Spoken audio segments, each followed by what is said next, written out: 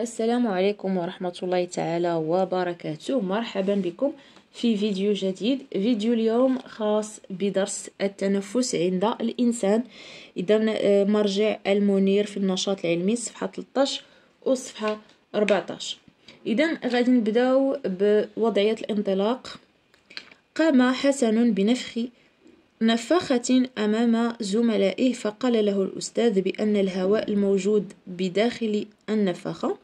لا يشبه الهواء الموجود خارجها فاستغرب هو وزملاؤه من ذلك يعني لماذا يختلف الهواء إذا بين داخل النفاخة وخارجها؟ أو لماذا يختلف هواء النفاخة عن الهواء في الخارج؟ إذا ما هو سبب الاختلاف بطبيعة الحال؟ إذا هنا نطرح التساؤل. ما سبب ما سبب اختلاف الهواء داخل النفاخة داخل النفاخة وخارج وخارجها.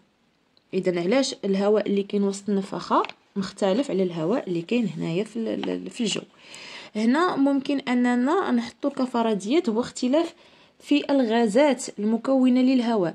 إذا يمكن أن يرجع أن يرجع سبب الاختلاف سبب الاختلاف إلى اختلاف الغازات.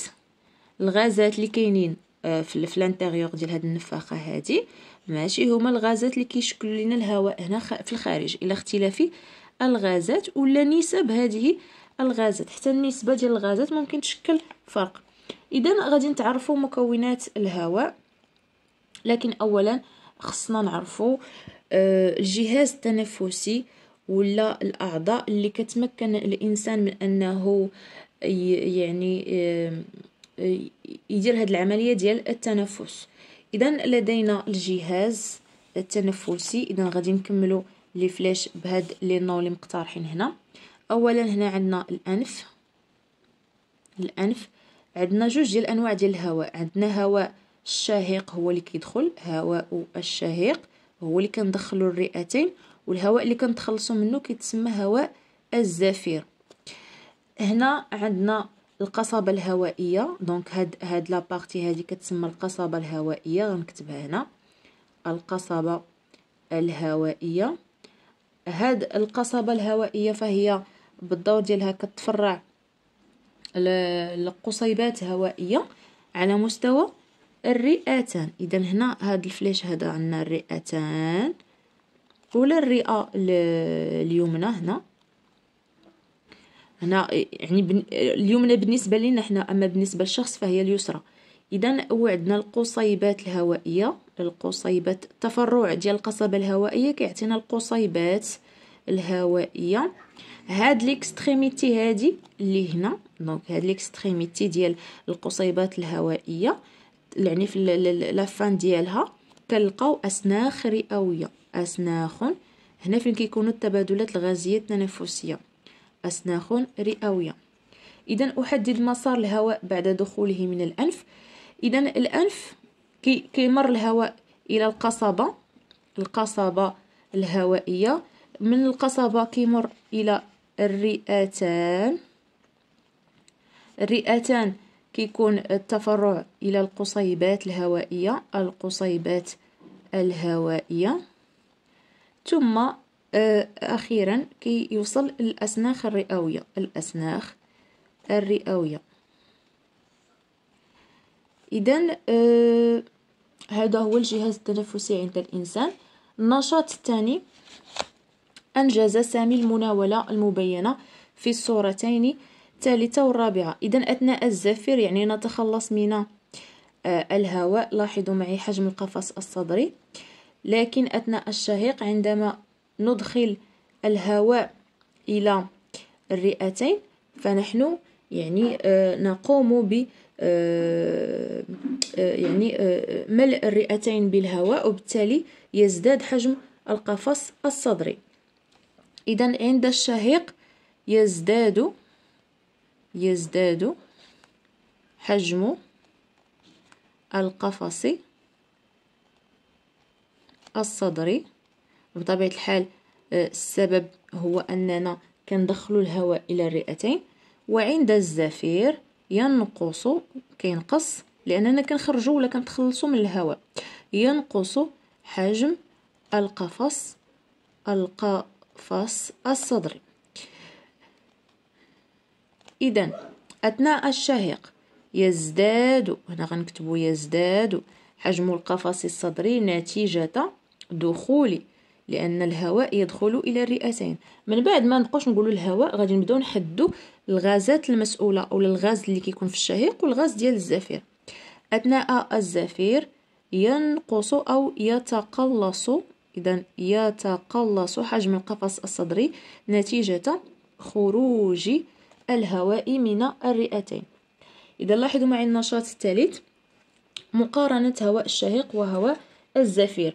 هنا غادي نتعرفوا بطبيعة الحال الغازات المسؤولة ولا الغازات اللي كتكون في الشهيق والغازات اللي كتكون في الزفير. بالنسبة للأكسجين كيكون عندنا واحد النسبة كبيرة.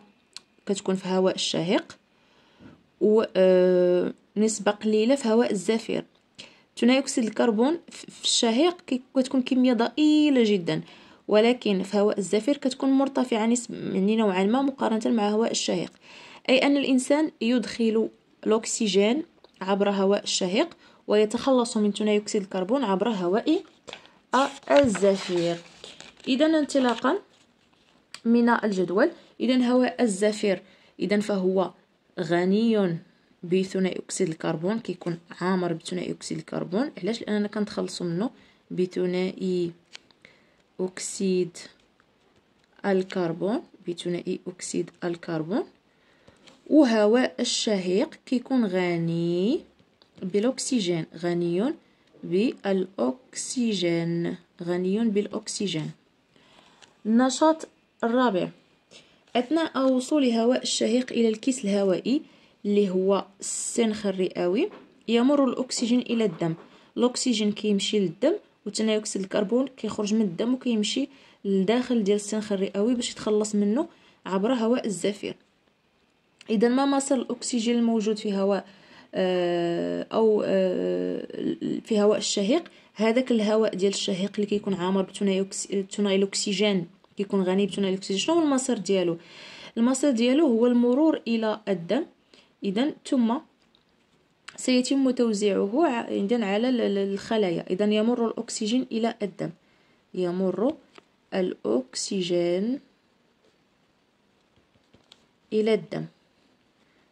إذا فهو كيمشي للدورة الدموية مع مصدر ثنائي أكسيد الكربون الموجود في هواء الزفير. هواء الزفير هذاك ثنائي أكسيد الكربون منين جاي؟ جاي من الدم. الدم اللي كيتخلص منه بطبيعة الحال فهو من الفض... ثنائي أكسيد الكربون هو من الفضلات ديال العمل الخلوي ولا ديال الخلايا. فبطبيعة الحال آه، الدم كيجمع دوك الفضلات ديال الخلايا ومن بينهم ثنائي أكسيد الكربون كيجيبو للرئة كيعطيه ليها باش تخلص منه في هواء الزفير. إذا أقارن بين الدم الذي يدخل في الشعير الدموي بالدم الخارج منه. إذا هنا يدخل يدخل الدم آه، غني بثنائي أكسيد الكربون غني بثنائي أكسيد الكربون CO2 أكسيد الكربون. ويخرج منه ويخرج دم ويخرج دم غني بالأكسجين غني بالأكسجين. غنكتب غير O2 أفسر ذلك بطبيعة الحال. هنا غادي نستنتج بأنه تتم العام التبادلات. التبادلات الغازية التنفسية التنفسية الغازية التنف... التبادلات الغازية التنفسية على مستوى السنخ الرئوي على مستوى السنخ الرئوي الآن غادي نشوفوا تأثير دخان السجائر على الأبناء. إذا لاحظوا معي سلوك الآباء ونسبة الإصابة بالتهاب الرئتين عند الأبناء. ملي تيكونوا الأبوين لا يدخنان فالنسبة باش يتصابوا الأبناء ديالهم بالتهاب الرئة سبعة فاصلة ستة. إلا كان غير واحد فيهم كيكمي كتولي عشرة فاصلة ربعة يعني كتزاد. إلا كانوا بجوج كتولي خمسطاش فاصلة ثلاثة. اذا آه نسبة الإصابة بالتهاب الرئتين عند الأبناء تزداد تزداد عندما إذا آه، آه، يدخن الآباء عندما يدخن الآباء. إلا كان واحد فيهم ولا بجوجهم كيكمي فالنسبة ديال أن الأبناء يتصابوا بالتهاب آه، الرئتين كتزاد. كيف نقي أنفسنا من تأثير السجائر؟ إذا تجنب تجنب الأماكن الأماكن التي يتواجد التي يتواجد بها مدخنون. اذا غادي نمشي لأستثمار تعلماتي أكتب صحيح أو خطأ. الوغ euh, أثناء الزفير يدخل الهواء الغني بالأكسجين إلى الرئتين خطأ. هذه أثناء الشهيق ماشي الزفير. أثناء الشهيق يدخل الهواء الغني بالأكسجين إلى الرئتين يعني بحال ضرب التصحيح ديال آه، العبارة الأولى. صحيح. يمر الأكسجين من الأكياس الهوائية إلى الدم. صحيح. يمر أكسيد الكربون من الأكياس الهوائية إلى الدم. خطأ لأنه العكس كيمر من الدم إلى الأكياس الهوائية. Reliez chaque mot à sa définition. Tube qui conduit l'air du nez ou branche. Donc, شنو هو tube اللي كي euh, كي كوندويزي لينا يعني كينقل الهواء من الأنف للقصبة هو للقصيبات هنا عندنا تراشي دونك تراشي sac où l'oxygène de l'air inspiré passe vers le sang هنا كنهضروا على الالفيول pulmonaire السنخ الرئوي ramification qui conduisent l'air aux alvéoles pulmonaires الغاميفيكاسيون هي التفرعات ديال البرانش دونك هنا كنهضروا على لي لي برونشيول دونك برونشيول كنهضروا على لي برونشيول عاد الغاميفيكاسيون دو لا تراشي لا تراشي كتعطينا القصب القصبات ولا القصيبات دونك القصبات دونك فوالا هادو هما les réponses concernant هاد الحصة هادي. نتلاقاو إن شاء الله في الحصة الجاية. الاحتياجات الغذائية كونوا في الموعد. إلى اللقاء.